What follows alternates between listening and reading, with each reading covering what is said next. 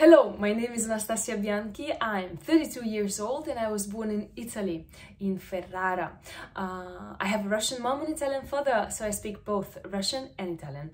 Uh, I lived in New York City, and uh, if I need to tell you about myself, I would tell first of all, I am a twin.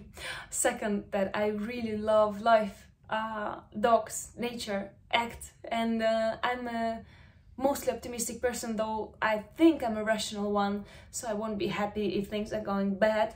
I'll definitely be upset for a moment, but then I'll tend to go back to be happy. Uh, those are my profiles. Speaking about my skills, I do a lot of stuff. I actually uh, sing, dance, uh, box, uh, I do big tennis, I play ukulele, I try to play guitar, but I can learn. Um, I have a lot of passions and I'm an artist. I paint. Thank you so much for watching my self tape. I hope you will have a great day. Bye.